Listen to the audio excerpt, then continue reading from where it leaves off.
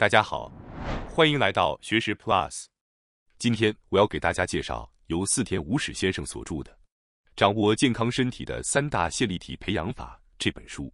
今天视频的内容包括以下四个部分：第一，打造健康身体的基础——线粒体培养法；第二，调整肠道环境；第三，改善肝脏解毒功能；第四，增强身体的抗氧化功能。首先是第一部分，打造健康身体的基础——线粒体培养法。线粒体是存在于我们身体每一个细胞中的微小能量工厂。人体是由大约三十七万亿个细胞所组成的，而线粒体负责生成一种名为 ATP 三磷酸腺苷的能量物质，这是支持我们呼吸、运动、新陈代谢和解毒等生命活动的核心动力。可以说，线粒体二十四小时不停运作。为全身细胞提供能量。如果想要提升身体机能并保持最佳的身体状态，维护线粒体的健康是必不可少的关键。为了有效提升线粒体的功能，作者提出了以下三个关键策略：一、调整肠道环境；二、改善肝脏解毒功能；三、增强身体的抗氧化功能。这三大策略被称为线粒体培养法，是生活习惯改善的重要基石。就像养成良好的饮食习惯对于健康饮食的意义一样，线粒体培养法同样是构建健康生活方式的根本。接下来，我们将逐一探讨这三大关键策略的具体方法。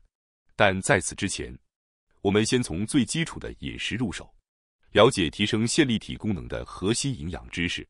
线粒体生成 ATP 所需的主要原料是碳水化合物、脂质和蛋白质。这三大营养素是人体能量代谢的基础。米饭、面包、面条等食物中的碳水化合物是 ATP 生成的主要能量来源。过度限制碳水化合物的摄入，可能会导致血糖过低，降低线粒体的功能，甚至会危及到生命。在睡眠时，由于人体无法直接摄入糖分，肝脏会通过糖异生作用，将脂质和蛋白质转化为葡萄糖或糖原。维持血糖水平，并为线粒体提供能量。理想的三大营养素摄入比例为：碳水化合物占百分之六十，脂质占百分之二十五，蛋白质占百分之十五。以每日摄入两千千卡为例，这相当于一千二百千卡来自碳水化合物，五百千卡来自脂质，三百千卡来自蛋白质。保持这种平衡。有助于为线粒体提供持续而高效的能量。在线粒体培养法饮食中，饮食结构强调营养的全面均衡，而非单一营养素的过度摄入。例如，在碳水化合物方面，推荐以玄米作为主食，因其比白米含有更多维生素、矿物质和食物纤维，是更理想的能量来源。燕麦同样是高营养价值的选择。对于其他食材来说，鱼类能提供优质的蛋白质和脂肪酸，蔬菜和蘑菇富含抗氧化成分，海藻和土豆则能为身体补充矿物质和能量。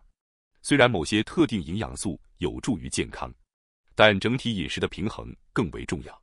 改善饮食习惯是线粒体健康的第一步，也是身体活力的关键基础。在掌握这些饮食基础后，下一步，我们将详细探讨线粒体培养法的三大策略，帮助您进一步提升身体的活力与健康。接下来是第二部分，调整肠道环境。正如第一部分所提到的，生成 ATP 所需的能量来源离不开营养素的摄取。然而，仅仅摄入营养素还远远不够，这些营养必须通过肠道消化吸收，才能顺利被运送到线粒体及其他器官发挥作用。因此，肠道环境的健康直接决定了营养素的吸收效率和线粒体功能的表现。谈到肠道健康，许多人首先想到的是增加酸奶、乳酸菌饮品或发酵食品的摄取。虽然这些确实有助于改善肠道菌群，但作者强调，单纯增加摄入远不如避免有害物质重要。作者特别提出了以下六类应尽量避开的食品：一、精制谷物。精制谷物中含有一种蛋白质麸质，这种物质会损伤肠道黏膜，诱发炎症并引起肠漏综合征。这种肠道屏障的破坏不仅妨碍营养素的吸收，还会削弱线粒体的功能。二、牛奶，许多人的体内缺乏消化牛奶中的酪蛋白所需的酶，导致其在肠道中引发炎症。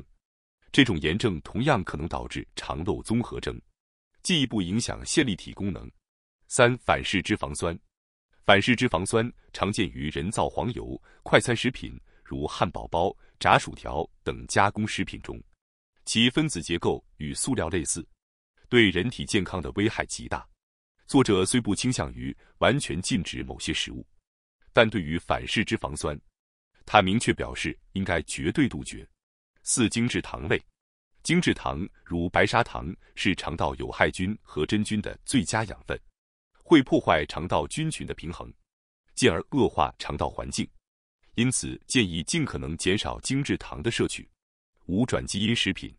转基因食品虽然在农业生产中被广泛使用，但其长期摄取对人体健康的影响尚存争议。一些研究表明，转基因作物可能会引发过敏反应，并破坏肠道菌群的平衡。因此，建议尽量选择非转基因的天然食品，以保护肠道环境。六、含毒素食品。含毒素食品主要指在种植、加工或保存过程中受到污染的食品。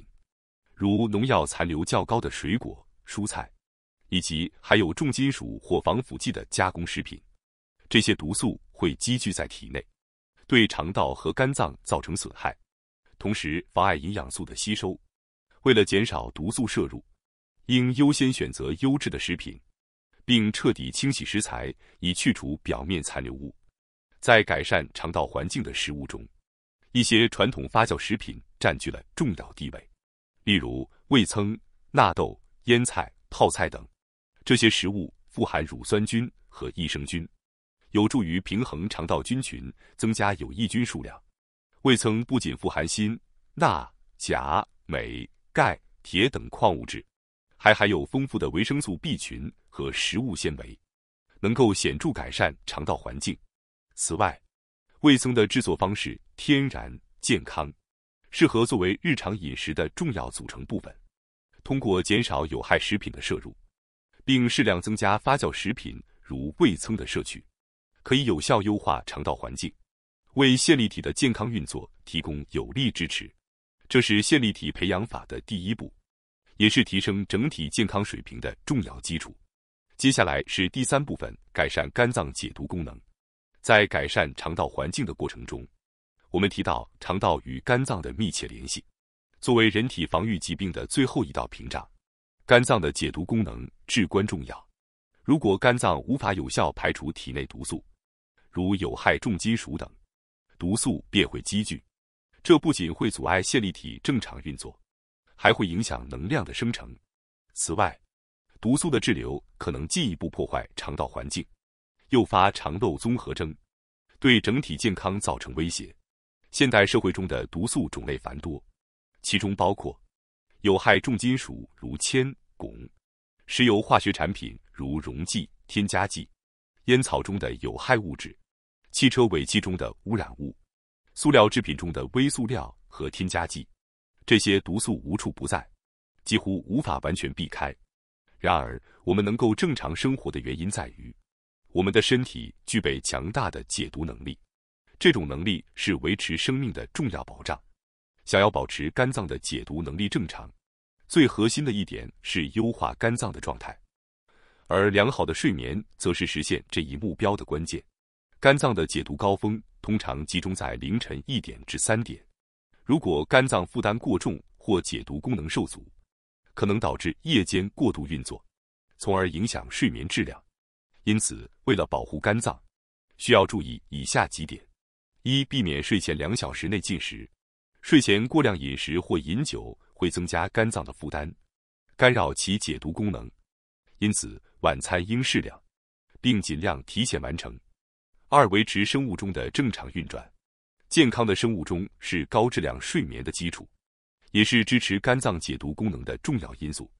晨间的阳光可以帮助调节体内生物钟，恢复身体的自然节奏。早起晒太阳。有助于肝脏按时完成解毒工作。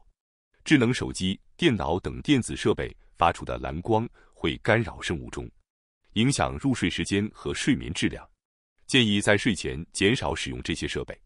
通过科学的作息安排和健康的生活习惯，可以显著减轻肝脏的解毒负担，提升其工作效率。这不仅有助于排出体内毒素，还能间接保护线粒体功能，为整体健康打下坚实基础。优化肝脏解毒功能，不仅是促进能量生成的关键，也是提升免疫力和身体代谢能力的重要一环。最后是第四部分，增强身体的抗氧化功能。在线粒体功能的培养中，最后一个重要步骤是增强身体的抗氧化功能，抑制过量的活性氧生成。研究表明，在线粒体生成 ATP 的过程中，约百分之九十五的氧气被消耗。剩下的氧气则转化为活性氧。活性氧是一种极具氧化性的分子，它能够引发体内物质的氧化反应。如果体内的活性氧过多，就会损害细胞和基因，导致细胞功能的受损。尽管这种氧化反应是线粒体生成 ATP 过程中不可避免的副产物，但幸运的是，人体自带抗氧化防御机制，能够有效抵御活性氧的侵害。从而保护健康。在年轻时，人体能够生成大量的抗氧化酶，这些酶有助于分解和无害化活性氧。然而，随着年龄的增长，抗氧化酶的产生能力会逐渐减弱。因此，要保持抗氧化功能正常，关键在于通过外部摄取抗氧化成分来支持身体的抗氧化防御系统。为了有效清除体内的活性氧。并增强抗氧化酶的生成，以下三个方法非常值得大家采用：一、摄取优质的蛋白质，蛋白质是生成抗氧化酶的基础，保证蛋白质的摄入量，尤其是优质蛋白质，有助于增强抗氧化能力。二、补充矿物质，矿物质如锌、铜、铁、镁等，对于抗氧化功能至关重要。它们在抗氧化酶的合成和活性中起着重要的作用。三、摄取维生素和植物化学物质。维生素 A 主要来源于动物肝脏、鳗鱼和海苔，能够有效对抗氧化反应。